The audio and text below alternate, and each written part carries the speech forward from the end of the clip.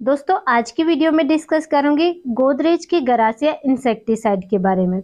इसका technical content क्या आता है मोड ऑफ़ एक्शन क्या है कौन कौन सी फ़सलों में कौन कौन सी स्टेज में आप यूज़ कर सकते हैं कौन कौन से इंसेक्ट को ये बहुत अच्छे से कंट्रोल करता है, साथ ही इसका कॉम्बिनेशन क्या है प्राइस डॉज संपूर्ण जानकारी इस वीडियो में कवर करूँगी तो वीडियो के अंत तक ज़रूर बने रहें।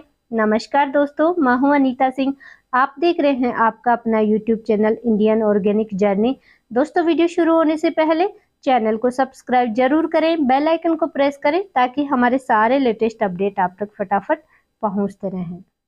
गोदरेज की गरासिया इंसेक्टिसाइड में टेक्निकल कंटेंट आता है। फ्लैक्स मेटामाइड 10 परसेंट ईसी फॉर्म में ये आता है। ईसी यानी इम्पल्सिव फाइबर कंसनट्रेट फॉर्म में ये होता है लिक्विड फॉर्म में ये आता है। इसके मोड ऑफ़ एक्शन की बात की जाए तो ये ब्रॉड स्पेक्ट्रम कॉन्टेक्ट इंसेक्टिसाइड होता है। इसका अभी तक कोई भी अल्टरनेटिव इंसेक्टिसाइड नहीं है, क्योंकि इसी कंपनी के पास में इसका पेटेंट है तो अदर किसी कंपनी का ये लॉन्च नहीं हुआ अभी तक। प्रिवेंटिव और क्यूरेटिव दोनों तरीके से ये काम करता है।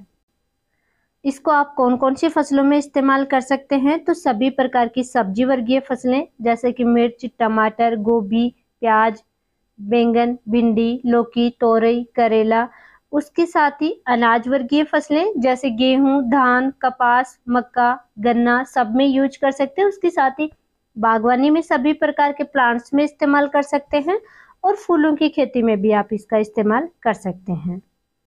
कौन कौन से इंसेक्ट को ये इफ़ेक्टिव रूप से कंट्रोल करता है? तो थ्रिप्स होपर्स उनके साथ ही कैटरपिलर्स को भी कंट्रोल करता है और माइट्स को भी कंट्रोल कर लेता है।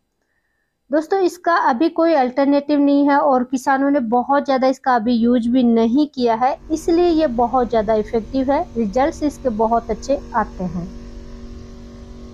फ़सलों में कौन सी स्टेज में इसको यूज़ करना चाहिए? तो किसी भी स्टेज में बेझिझक इसका इस्तेमाल कर सकते हैं।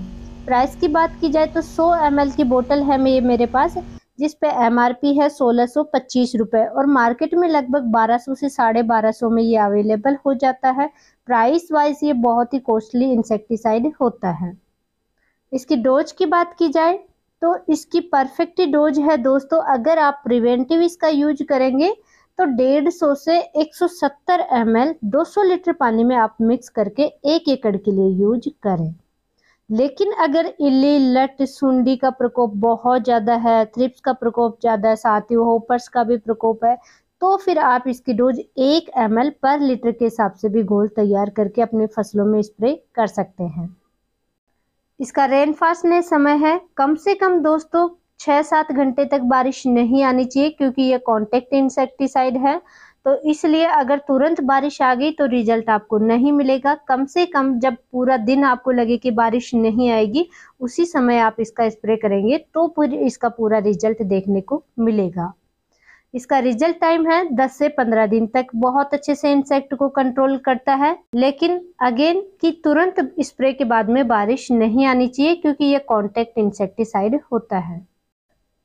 लास्ट में विशेष टिप ज़रूर ध्यान रखें दोस्तों कि ये थोड़ा सा कॉस्टली इंसेक्टिसाइड है। तो प्रिवेंटिव में इसको यूज़ नहीं करना चाहिए। इसकी जगह आप बहुत सारे इंसेक्टिसाइड है मार्केट में, उनको भी आप इस्तेमाल कर सकते हैं। इसका यूज़ जब करें, जब आपको लगे कि आपकी क्रॉप में इल्ली, लट, सुंडी थ्रिप्स वगैरह का बहुत ज़्यादा प्रकोप हो चुका है, या फिर अभी जैसे बारिश वगैरह का सीज़न है कि अभी इंसेक्ट का धीरे धीरे प्रकोप ज़्यादा हो रहा है और आपकी महँगी फ़सल है तो फिर आप उस सिचुएशन में आप इसको यूज़ करें। और भी कोई क्वेरी है कमेंट बॉक्स में आप मुझसे अपना सवाल पूछ सकते हैं। जानकारी अच्छी लगी है वीडियो को लाइक ज़रूर करें चैनल को सब्सक्राइब करें और ज़्यादा से ज़्यादा किसान दोस्तों तक शेयर ज़रूर करें। धन्यवाद।